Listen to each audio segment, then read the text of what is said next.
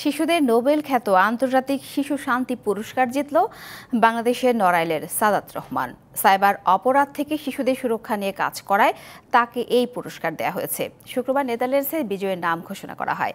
Video কনফারেন্সে সাদাতের হাতে প্রতীকী পুরস্কার তুলে দেন নোবেল জয়ী মালালা ইউসুফজাই সাদাত রহমান ও তার দল সাইবার বুলিং থেকে শিশু কিশোরদের রক্ষায় নানা কার্যক্রম পরিচালনা করছে।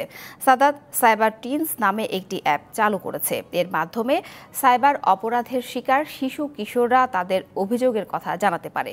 অভিযোগের ভিত্তিতে নানা সহযোগিতা পেয়ে থাকে তারা।